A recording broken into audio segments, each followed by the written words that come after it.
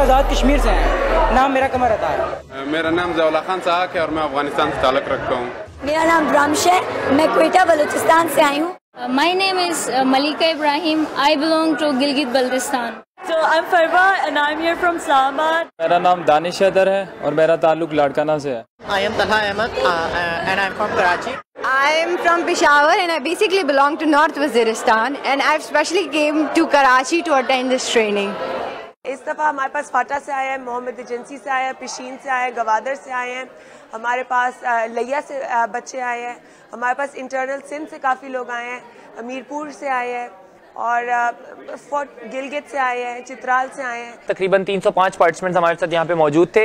इकतालीस शहरों गाँव डिस्ट्रिक्ट्स टाउन से लोग आए हुए थे। तो we had around more than 100 female participants here in a crowd of 305 people ये यंग लीडर्स यानी जवान रहनुमाओं की कॉन्फ्रेंस है।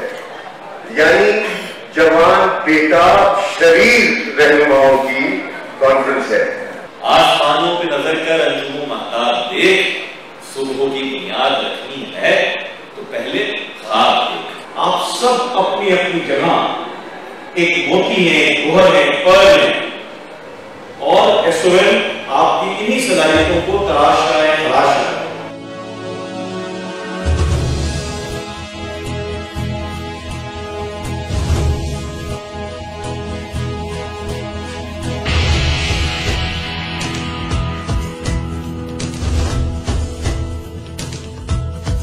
यंग लीडर्स कॉन्फ्रेंस बेसिकली हमेशा इसकी प्लानिंग एक साल पहले स्टार्ट होती है।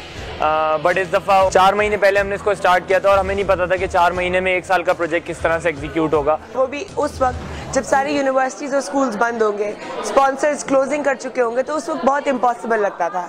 लेकिन हमारी ऑर्गेनाइजेशन और हमारे जवानों का जज्बा है कि जब भी कोई चीज़ उनको इम्पॉसिबल लगती है तो वो इसको अपनी जिद बना लेते हैं। लेकिन अलहमदिल्ला पूरी टीम ने काम किया है एंड थीम uh, जल्दी डिसाइड की वेबसाइट हमने लॉन्च की we started the registration nine, eight, six, five, four, three, two, one. Bring this future in your मुट्ठी. So तुम्हारी मुट्ठी में बंद है क्या? थीम थी बेसिकली फ्यूचर है जिसके साथ हमने क्लॉक रखी थी जो कि वक्त की अहमियत बताती है और पॉइंट भी यही था कि पाकिस्तान में जो डिलेमा है कि यार नौजवान पाकिस्तान का मुस्तबिल हैं सत्तर फ़ीसद से ज़्यादा नौजवान मौजूद हैं हमेशा मुस्तकबिल मुस्तकबिल कहते रहते हैं तो हम कहते हैं अगर वो मुस्तकबिल है तो वो मुस्तकबिल आज है so the future is here जो हमारा परसेप्शन है कि हमारी यूथ कुछ करती नहीं है कुछ कर नहीं सकती बिल्कुल फ्लॉलेस परसेप्शन है। They need a direction and while see I think it's one of the best platform जहाँ की हिडन पोटेंशियल है वो बहुत सामने आती है उन्हें और बहुत से पार्टिसिपेंट्स इस चीज़ पे सरप्राइज़ होते हैं कि हाँ मैं ये भी कर सकता हूँ। अब खुद कुछ करना पड़ेगा। आप लोग एक दूसरे के पास जाएँगे। You will tell your name and you will say I belong to you in return that person will tell her और हिज नेम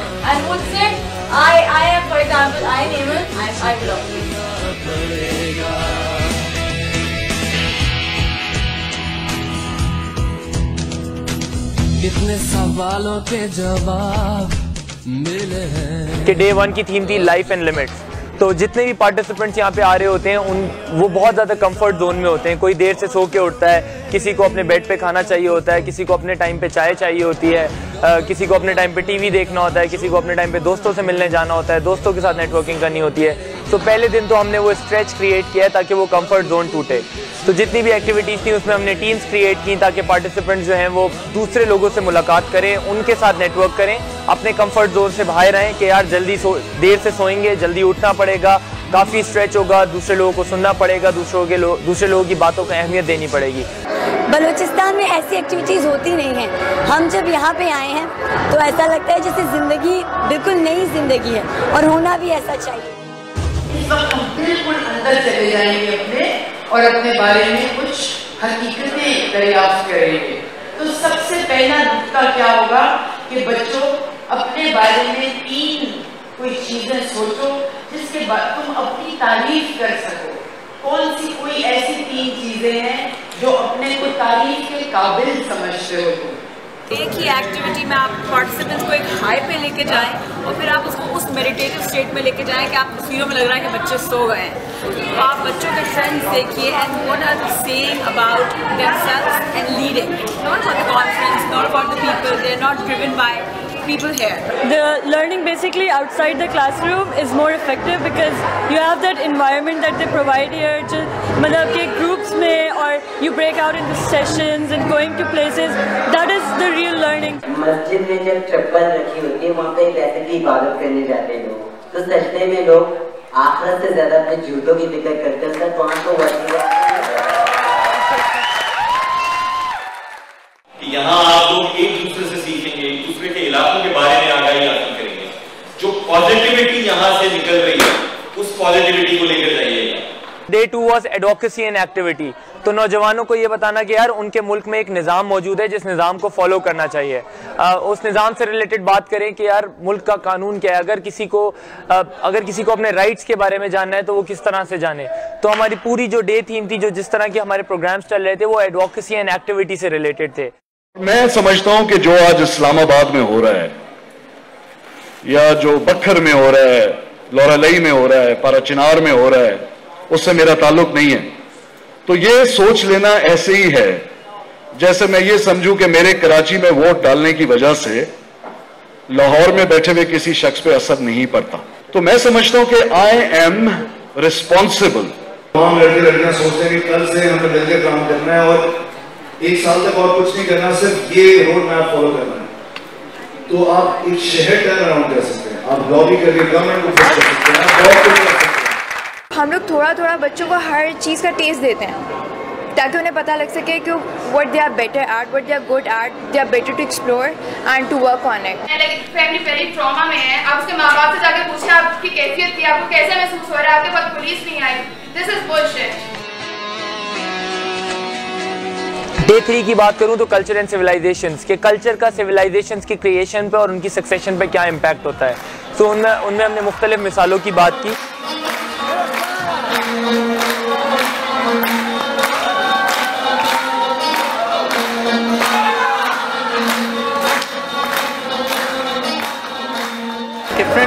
सिटीज़ के लोगों से मुलाकात की, उनसे दोस्तियाँ बनाई, जो डिफरेंट ज़बानें बोलने वालों से मिला डिफरेंट कल्चर्स के लोगों से मिला, उनकी ज़बानें, कुछ वर्ड वर्ड सीखे उनसे।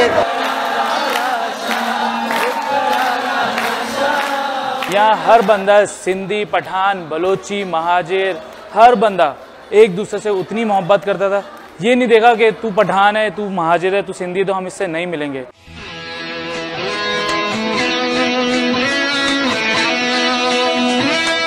और पार्टिसिपेंट्स को जो है वो स्टडी टूर्स पे हम लेके गए, ताकि उनको नज़र आए कि सिविलाइजेशन में किस तरह की चीज़ें मौजूद होती हैं और क्या वेरिएशन है। Then day four was enterprise and employment अब जब एक निज़ाम से आप गुजर चुके हैं और एक सिविलाइजेशन में आप मौजूद हैं तो आपको चाहिए या तो अपना कोई बिज़नेस या आपको कहीं पे जॉब करनी है। So we talked about enterprise and employment enterprise and employment में हमने पार्टिसिपेंट्स के असेसमेंट सेंटर क्रिएट किए। uh, वहाँ पे उनके 25 से ज़्यादा कंपनीज़ ने पार्टिसिपेंट्स का इंटरव्यू किया है और उनको एक रियलाइजेशन दी है कि कॉर्पोरेट वर्ल्ड में जब वो जाएँगे तो ख्वाह वो अपना बिज़नेस करें uh, या वो कहीं पे जॉब करें। उनको किस तरीके से चलना चाहिए अपने आप को किस तरह से प्रेजेंट करना चाहिए? मॉक इंटरव्यूज़ थे बट एक पार्टिसिपेंट को असल में जॉब ऑफ़र हो गई और वो जो है हायर हो गया उस इंटरव्यू के ज़रिए। Today when I was interviewed, I was so confident.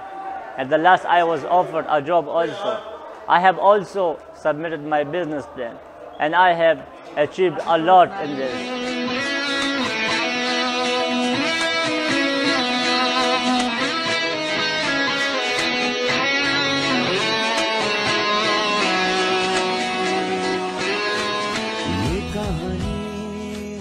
पूरी कॉन्फ्रेंस में अगर देखें तो एक बहुत बड़ी एक्टिविटी थी, जिसका नाम था एक्स्ट्रा कॉप एक्स्ट्रा कॉप में हम तकरीबन सारे पार्टिसिपेंट्स को मुख्तलिफ़ डिसेबिलिटीज़ दे देते हैं। किसी की आँखें नहीं होती, किसी के हाथ नहीं होते, किसी के पाँव नहीं होते, और फिर उसी डिसेबिलिटी के साथ उनको हॉल में आना होता है और खाना खाना होता है। इसी दौरान हम कोई 40-50 पार्टिसिपेंट्स नॉर्मल भी बीच में छोड़ देते हैं, और फिर हम एक मैसेज क्रिएट करते हैं वहाँ से इंसानियत का कि यार, अगर आपके साथ खुदा ना खास्ता कल को ये हो जाए और आपके साथ ये मुसीबत आए तो आप क्या करेंगे?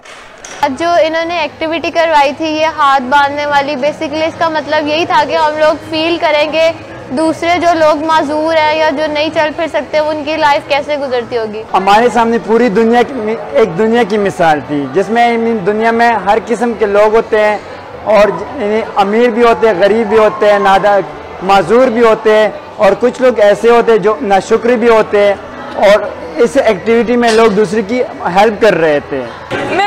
बहुत मज़ाक उड़ाती थी लेकिन आज से मैंने सीखा कि किसी का मज़ाक नहीं उड़ाता मुझे खुद एहसास हुआ कि जब मैं रोड पे चल रही होती हूँ और मेरे साइड से कितने लोग घिसट घिसट कर जा रहे होते हैं। लेकिन मैं उनको सिर्फ़ देखती हूँ और अफसोस करती हूँ। लेकिन आज जब लोग मुझे देख के अफसोस कर रहे थे और मतलब मैं घिसट घिसट कर चल रही थी तो वो फीलिंग्स शायद मैं कह सकती हूँ this is a turning point of my life We are the one, we have everything, but we still feel the victim of im- uh,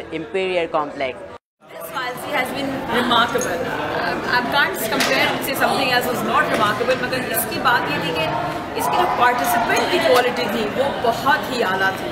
Uh, इनके अंदर हमें इनको कहना नहीं पड़ता था आने के लिए इनको जगाने के लिए सुलाने के लिए। I mean they were driven they were hungry to learn यहाँ मौजूद रहते थे हॉल में कहीं इधर उधर नहीं जाते थे। अगर ब्रेक्स मिलते थे तो उसमें थोड़ा सा स्ट्रॉल अराउंड कर लेते थे but throughout the time जब भी कोई सेशन हो रहा होता था देवर इन दी हॉल इसमें बच्चों ने बहुत ज़िम्मेदारी से सीखा, शौक से सीखा और अपने जज्बात का जो इजहार किया उससे देख के मेरे आँखों में पानी आया। जब यंग लीडर्स कॉन्फ्रेंस 2014 स्टार्ट हुई तो उस वक्त 300 पार्टिसिपेंट्स जैसे जैसे आते जा रहे थे हम उन्हें वेलकम कर रहे थे रिसीव कर रहे थे। आ, उस वक्त एक डर भी था कि पता नहीं किस तरीके की ऑडियंस होगी किस तरीके से हम इनको पाँच दिन तक लेके चलेंगे पाँच दिन तक हमारे साथ एडजस्ट करेंगे नहीं करेंगे हम इनके साथ एडजस्ट करेंगे या नहीं करेंगे। बहुत सारी एग्जीक्यूशन जो हमने प्लान की हुई थी वो प्रॉपरली हम एग्जीक्यूट कर पाएँगे या नहीं। बट माशाल्लाह अब कॉन्फ्रेंस एंड हो गई है and this has very good मतलब एक्सपेक्टेशन से बहुत अच्छी तरीके से हमने ये कॉन्फ्रेंस को एग्जीक्यूट किया है। जो भी यहाँ से सीख के जाए अपने विलेज में मोहल्ले में अपनी सिटी में बल्कि थ्रू आउट द वर्ल्ड वो मैसेज लेके जाए। जो यहाँ से सीखे जाए वो आगे लोगों को सिखाएँ ताकि एक चेन बन जाए। So 10,